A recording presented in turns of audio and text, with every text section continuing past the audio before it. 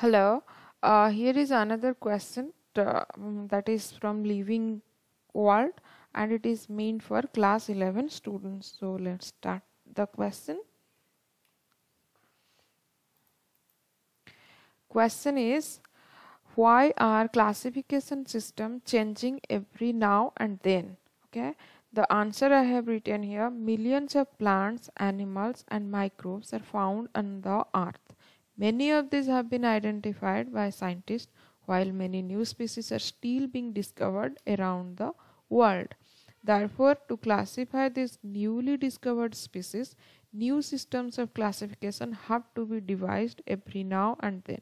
This creates the requirement to change the existing system of classification. So, uh, there are lots of organisms which are being discovered. They are not yet uh, discovered and uh, many are also remained. That's why the classification system is changing every now and then.